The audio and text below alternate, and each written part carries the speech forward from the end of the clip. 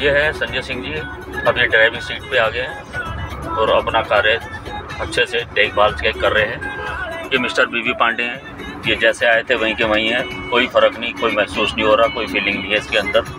Coma में चल रहे हैं पान से ही गुजारा कर रहे हैं। ये मिस्टर अरुण कुमार जी हैं फ्रॉम हल्द्वानी फ्रॉम उत्तराखंड, ये हमारे साथ हैं। ये माथे पे टीका लगाया है।